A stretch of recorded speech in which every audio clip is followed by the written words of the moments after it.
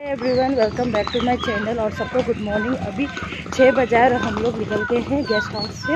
अभी हम लोग मायापुर जाएँगे।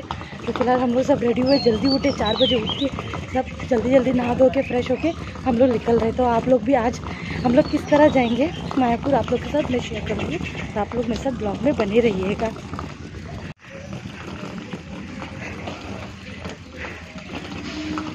अच्छी तो पैसेंजर।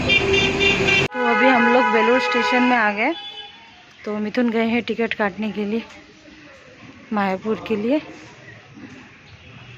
मायापुर जाने के लिए नवद्वीप जाना पड़ेगा। तो ये तीन नंबर प्लेटफॉर्म में आएगा।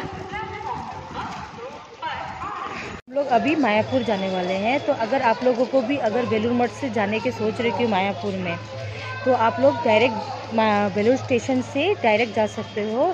नवदीप नवदीप से भी मायापुर जा सकते हो। तो आप लोगों को हावड़ा जाने का ज़रूरत नहीं है। अगर आप लोग सोच रहे हो इस तरह का प्लानिंग जैसे हम लोग ने सोचा वैसे आप लोग सोच रहे हो तो आप लोग इस तरह का सुविधा ले सकते हो स्टेशन फ़ोटो मार फ़ोटो मार तो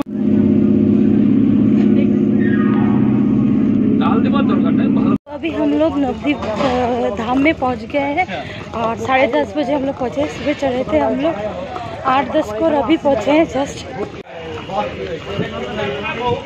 तो हम लोग को एक जेंटलमैन मिला जो कि हम लोग को पूरा हेल्प कर रहा है।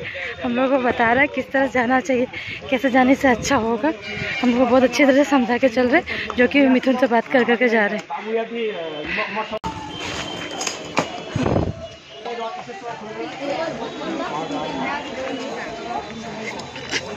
हम लोग नवद्वीप घाट में आ गए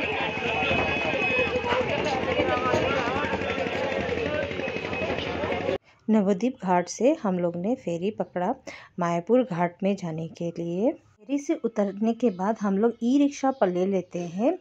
मायापुर घाट से इस्कॉन मंदिर के लिए पर पर्सन टेन रुपीज़ है ई रिक्शा का रेंट।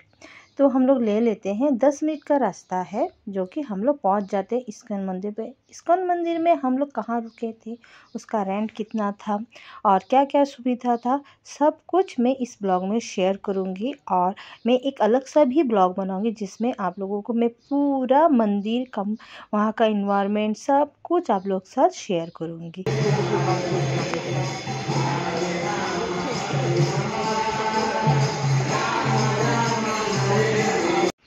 तो हम लोग को इस्कॉन में इस तरह का रूम मिला है। बाथरूम और सब कॉमन है पर रूम सेपरेट सेपरेट है। ये है हम लोग ने दो दिन का रूम लिया है फाइव हंड्रेड तो इस तरह कुछ रूम है ये। हम लोग ने इस टाइप का रूम लिया है। यहाँ पर अ, मतलब बेड़े का भी रूम है। तो हम लोग ने इस रहा है क्योंकि हम लोग जस्ट रात को ही गुजारना तो इसलिए हम लोग इतना कॉस्टली में नहीं गए।